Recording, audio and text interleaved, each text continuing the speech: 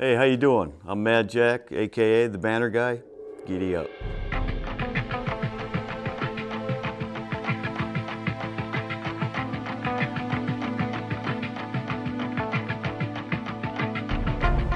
Ninety-three.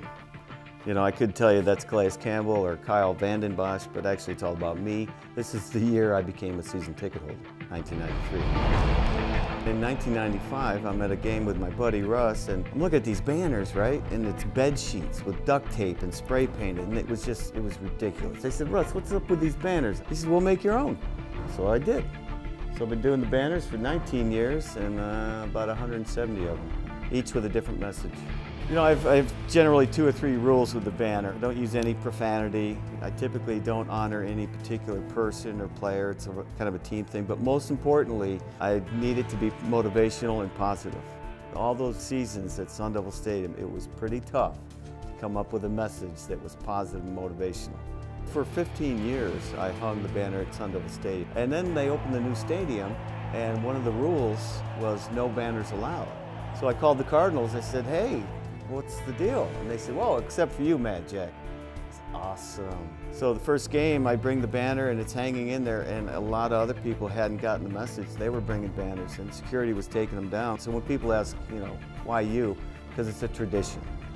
And there's not a lot of tradition with the Cardinals. One of them, and the few ones that carried over from Sun Devil Stadium, was the banner.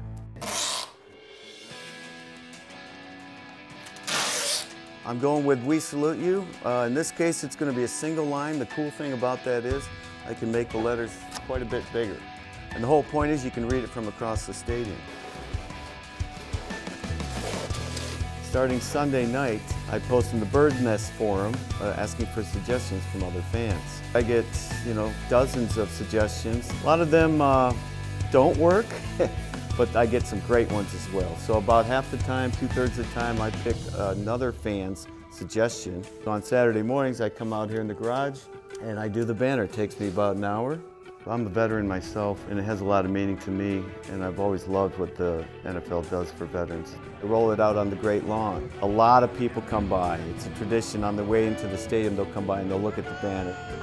An hour before kickoff, the Cardinals crew comes out and they roll up the banner, take it in through security, and they hang it in a pre-designated spot in the northeast corner, club level.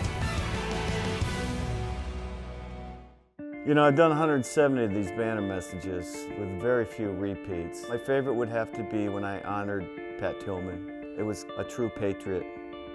Corporal Pat Tillman, and it had number 40 on the bird head and a huge teardrop, so it was pretty cool.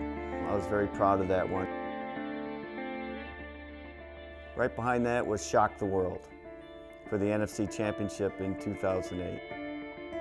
So I'm sitting there with my wife Loretta and we're watching TV and they're doing an interview on Kurt Warner and he says, we need to go out there and shock the world. And she looked at me and said, that's it.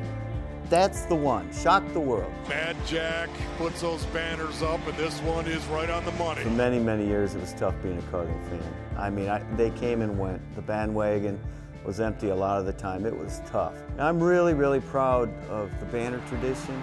The fact that it's the only one allowed in the stadium. The fact that it's a message. I speak for the fans, and it's a huge honor for the Cardinals to allow me to do it.